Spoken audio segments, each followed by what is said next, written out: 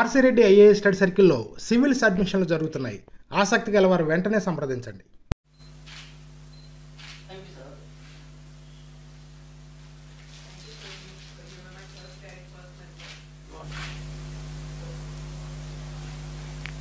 Good evening everyone నా పేరు uh, Gautami Pujari. నేను two thousand twenty UPSC civil సర్వీసెస్లో all India three hundred and seventeen rank వచ్చింది. ఇది నా ఫస్ట్ అటెంప్ట్ సో నేను టూ థౌజండ్ ఎయిటీన్లో గ్రాడ్యుయేట్ అయ్యాను. తర్వాత టూ థౌజండ్ నైన్టీన్ నుంచి ప్రిపేర్ అవ్వడం స్టార్ట్ చేశాను. టూ థౌజండ్ నైన్టీన్లో నేను ప్రిపరేషన్ స్టార్ట్ చేయాలి అనుకున్నప్పుడు కోచింగ్ ఎక్కడ వెళ్ళాలి అని ఎంక్వైరీ చేసినప్పుడు నాకు ఆసిరెడ్డి చాలామంది చాలా మంది సజెస్ట్ చేశారు. అని ఎప్పటి నుంచో ఎన్నో ఇయర్స్ నుంచి చాలా స్టాండర్డ్గా వస్తుంది వస్తున్న ఇన్స్టిట్యూట్ ఇది. సో అందుకని నేను ఆ కాన్ఫిడెన్స్తో జాయిన్ అయ్యాను. సో ఇనీషియలీ జాయిన్ అయిన few days RC sir classes ఉన్నాయి. సో ఎస్ఏ రైటింగ్ కానీ కరెంట్ అఫైర్స్ గురించి కానీ చాలా uh, మంచి uh, uh, చాలా మంచి గైడెన్స్ ఇచ్చారు. ఆ తర్వాత అందరూ ఫ్యాకల్టీ ఇక్కడ ఉన్న ఫ్యాకల్టీ అందరూ కూడా చాలా వాళ్ళ క్లాసెస్ వాళ్ళ నోట్స్ వాళ్ళ వాళ్ళు ఇచ్చిన టిప్స్ చాలా హెల్ప్ అయ్యాయి. నేను ఆనెస్ట్గా వచ్చినప్పుడు as a very big as in the very beginning నేను ఒక బిగినర్ లాగే వచ్చాను. నేను ఇంతకు ముందు ఏమీ ప్రిపరేషన్ స్టార్ట్ చేసింది లేదు. ఇక్కడికి వచ్చాకే క్లాసెస్ వింటూనే సైమల్టేనియస్గా నేను కూడా ప్రిపేర్ అవ్వడం స్టార్ట్ చేశాను. So whatever I started it was from here and the guidance and the kind of exposure that this institute has given me has been of great help so I'm very happy to be back here today very happy to be back here today. And I owe all of this to R.C. Reddy sir and for his kind support and guidance all along, uh, all uh, during all the three stages, prelims, mains, and interview. I even um, came here for a mock interview, and uh, sir's guidance has proved to be very helpful for me. So నేను చెప్పినట్టు ఇది నా first attempt two thousand ట్వంటీలో ఇచ్చిన attempt నేను ఇనీషియల్గా begin చేసినప్పుడు I was not very sure అంటే నేను చేస్తానన్న నమ్మకం నాకు ఉంది but first attempt giving making it in the first attempt was definitely a dream but I had my inhibitions Um, I think uh, for me, what helped was that uh, I, I had a very minimal approach to this whole thing. Uh, I had a very base, very basic resources, few resources, and um, I made notes out of it, very clear and concise notes. I revised multiple times, gave mock tests, and uh, for mains, I uh, did a lot of uh, planning in the sense that how do toppers write answers? What are the answers that fetches marks? in this in this direction I did a lot of research I think that helped me a lot and um, there's a lot of myths about this that it's very difficult um, and that you have to leave out your uh, everything else social life and and hours of work into it um, definitely hard work is very important but I also believe that smart work uh, plays a, a definite role in this whole preparation I think uh, the right combination of uh, working both hard and smart uh, will get anyone here um, in the very first attempt. Preparation start చేసినప్పుడు నేను ఏ ఇన్హిబిషన్స్తో రాలేదు డెఫినెట్గా first అటెంప్ట్లో చేయాలి అని అయితే ఉంటుంది I think ప్రతి ఒక్కరి గోల్ అది ఉంటుంది ఫస్ట్ అటెంప్ట్లోనే చేయాలి అని చెప్పేసి because I think it is the, this exam చాలా లాంగ్ ప్రొసీజర్ ఇది prelims mains interview already takes one year one long year or ఇంకా ఎక్కువనే. సో ఫస్ట్ అటెంప్ట్లో చేయడం అనేది it's very important for everyone to have that goal definitely నాకు కూడా ఉన్నింది అంటే చేస్తే బాగుంటుంది ఇట్ మైట్ హ్యాపెన్ నేను రైట్ అమౌంట్ ఆఫ్ ఎఫర్ట్స్ పెడితే I might be able to do it అనుకున్నాను. అగైన్ చాలా అప్స్ అండ్ డౌన్స్ ఉంటాయి. కొన్ని డేస్ చాలా బూస్టెడ్ ఫీల్ అయ్యేదాన్ని. చాలా ఎనర్జీతో చాలా చదువుకునేదాన్ని. కొన్ని డేస్ కొంచెం లోగా ఉండేది అన్సర్టెన్గా ఉండేది.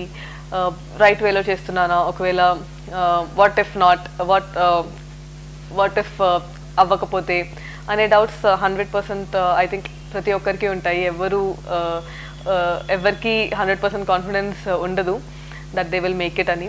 So that having that doubt is very common so I think it's good if we have that doubt that will only boosters even more so uh, ప్రిపరేషన్కి uh, నాకు వర్క్ అయింది ఏంటి అంటే ఫస్ట్ స్టేజ్ ప్రిలిమ్స్కి నేను నేను ఏం చేసేదాన్ని అంటే ఐ వుడ్ ఒక సబ్జెక్ట్ తీసుకొని దాన్ని ఫినిష్ చేయడానికి ట్రై చేసేదాన్ని.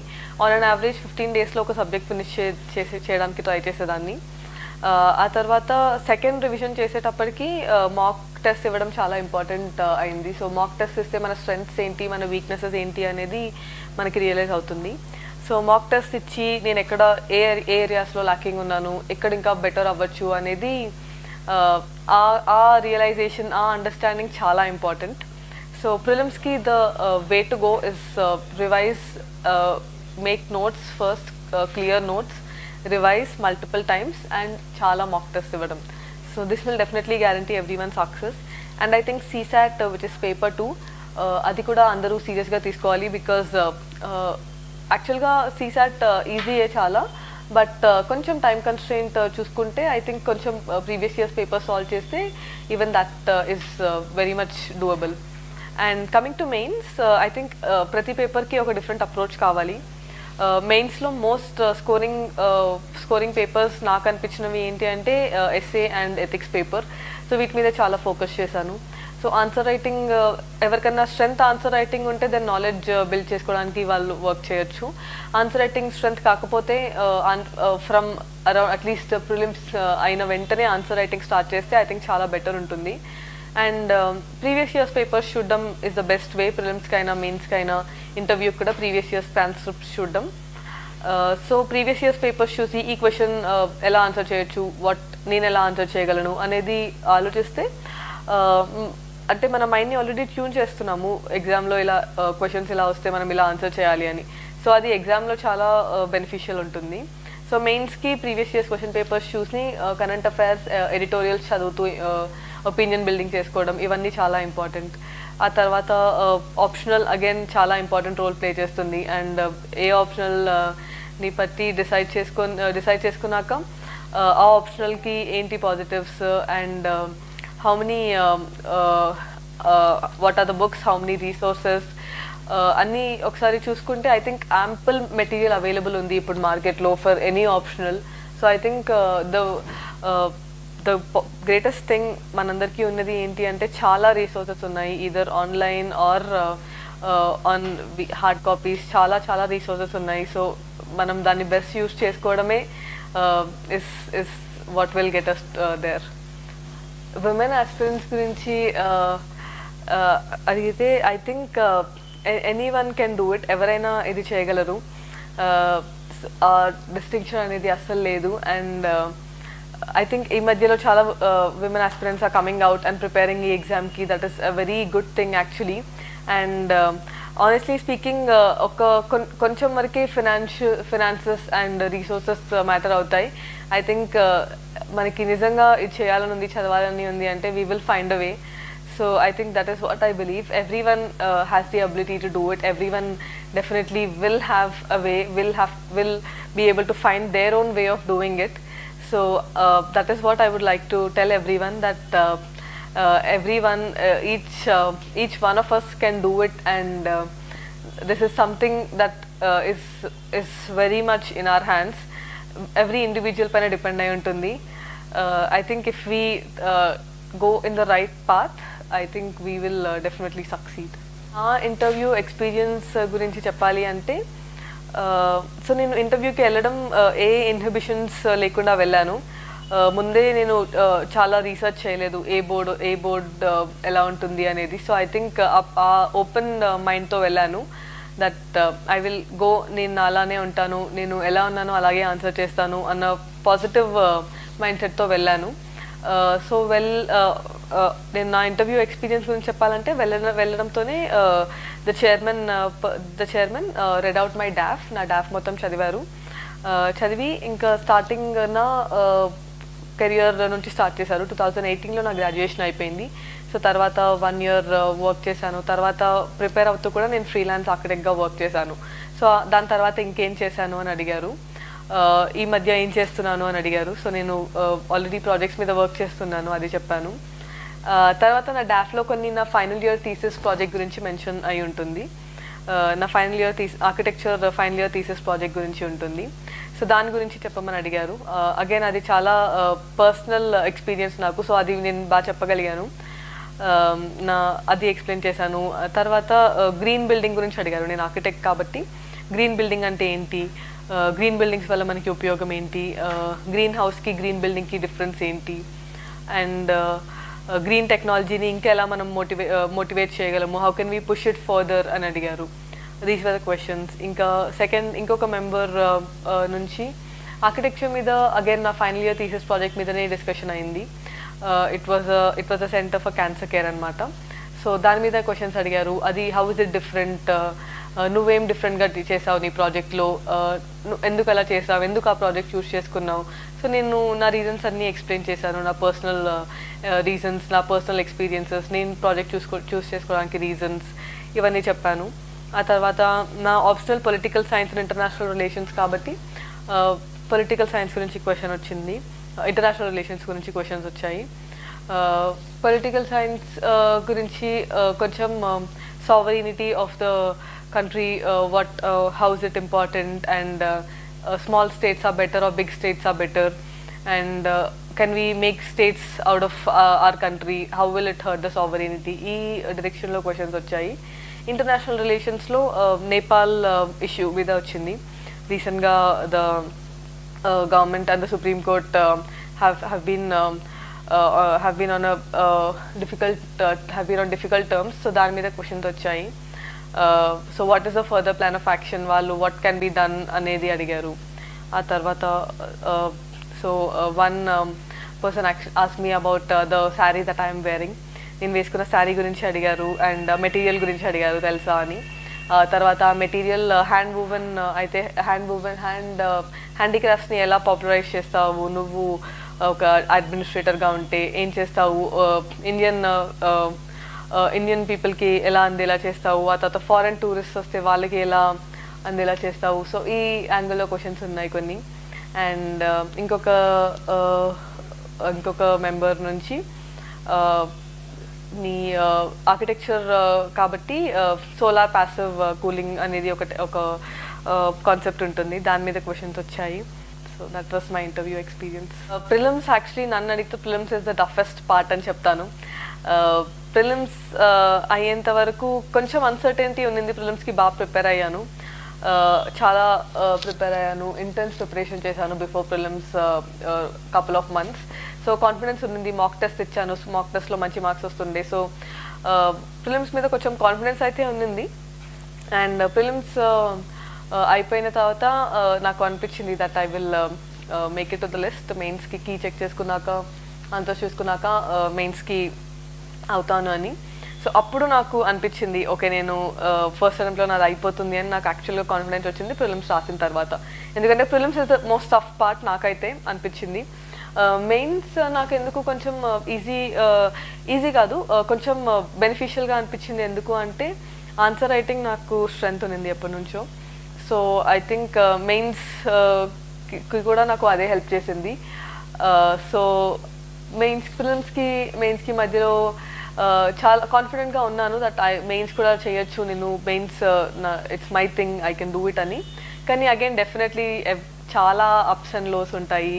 Very common that is very common I had days కొన్ని రోజులు నాకు అనిపించేది ఓకే um, ఇది అవ్వకపోతే ఏంటి? వాట్ ఇస్ దిస్ అనే డౌట్స్ డెఫినెట్గా ఉంటాయి. బట్ ఐ థింక్ ఓవర్కమ్ అవ్వడం is what is more important so నేనైతే uh, ఇలాంటి టైమ్స్లో మోటివేషన్ కోసం I would watch videos toppers videos చూసేదాన్ని. Or I would watch any sessions which are very interesting నాకు ఇష్టమైన సబ్జెక్ట్ చదివేదాన్ని. So that gave me confidence అలా చేసేదాన్ని. మెయిన్స్ um, అయిపోయాక మెయిన్స్ క్లియర్ uh, uh, అయిన తర్వాత ఇంటర్వ్యూ అగైన్ కొంచెం ట్రిక్కీ అనిపించింది. Uh, ఇంటర్వ్యూ ఎవరు ఎవరు చెప్పలేరు ఎలా వెళ్తుంది. వెరీ పర్సనల్ ఇంటర్వ్యూ యాక్చువల్గా అందరికీ. ఒకరికైనట్టు ఇంకొకరికి అవ్వదు. So it is completely based on our profile so ఇంటర్వ్యూకి ముందు కాన్ఫిడెన్స్ ఉండింది. నాకు గైడెన్స్ ఇచ్చిన వాళ్ళందరూ నీ డాఫ్ బాగుంది. Your candidature is very good నువ్వు ఖచ్చితంగా సెలెక్ట్ అవుతావు అని కాన్ఫిడెన్స్ ఇచ్చారు. మారల్ సపోర్ట్ నాకు అది చాలా ఇంపార్టెంట్ అనిపించింది. సో నా ఇంటర్వ్యూ కూడా బాగానే బాగా అయింది. సో మోస్ట్ ఆఫ్ ఇట్ నా డాఫ్ బేస్డ్ వచ్చింది. Uh, గ్రాడ్యుయేషన్ సబ్జెక్ట్ మీద వచ్చింది. సో నేను Um, అనుకున్న అనుకున్నలా చేశాను బాగా చేశాను ఇంటర్వ్యూలో కూడా.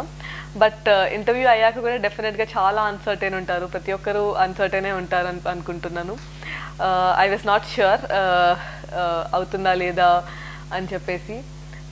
బట్ ఐ థింక్ రిజల్ట్ వచ్చినప్పుడు I was actually very happy I could not believe అసలు చాలాసేపటి వరకు సింక్ ఇన్ అవ్వలేదు.